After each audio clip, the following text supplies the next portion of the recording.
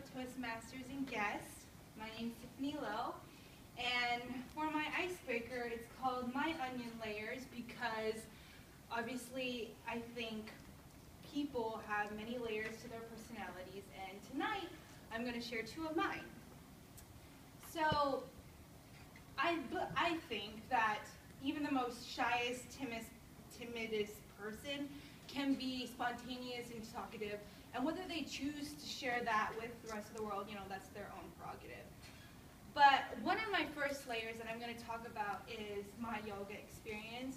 And the second is how I fell into my business major.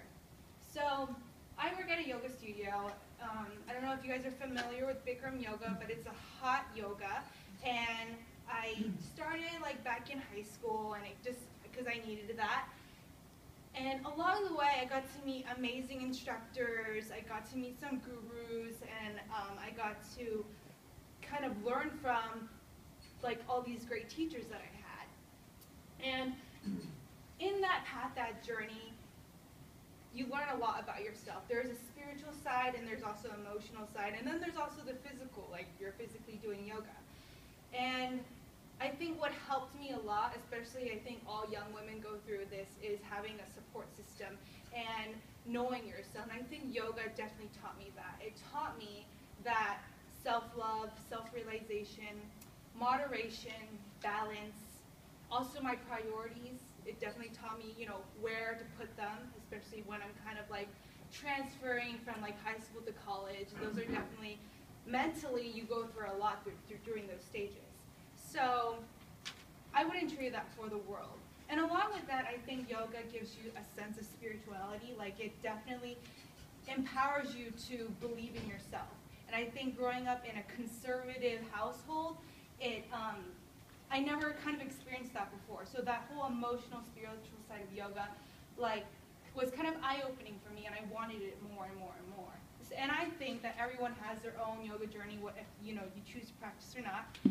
But that's kind of like what I got from the practice, and I and I still work at the yoga studio even now. My second layer is my um, business major. I kind of, and to me, you think business and yoga, they're completely two different things. Like in, in yoga, you know, there's no deadlines. You can, you know, do it tomorrow. I mean, like Karen, my studio owner, she's like, yeah, yeah, yeah, just do it tomorrow. And, and I get it done eventually, right? But in, in business, you know, there is black and white on your spreadsheet at the end of the day, you need to balance out your T accounts. You need to um, get the correct number at the end of your spreadsheet. So, and there's no gray area like there is in yoga. You know, you can't just kind of diddly around things that you, that um, a lot of hippie yogis tend to do. And I think kind of there's two different sides to me. There's like that super conservative but kind of like there's a sense of rigidity because I feel that yoke, I mean, that business, it gives me a sense of security and that it, it's that structure that I need in life. But yoga helps me balance that out. And I think one of my goals, um, like, because I'm still, you know, a lost college student trying to find my way, which is super cliche. But um, it's trying to meld my interests and passion together. And I think that's kind of where I'm at right now. And I feel like that's constantly changing because I think what, when my, however I define success, it will be what I enjoy doing, what are my interests are, what am I passionate about, and trying to meld that with my major is kind of what I really want to do. And um, I'm not quite sure where that's going to take me. Obviously, I feel like even joining Toastmaster was like a spur of a moment thing just because a friend introduced me to it. Thanks, Deanna.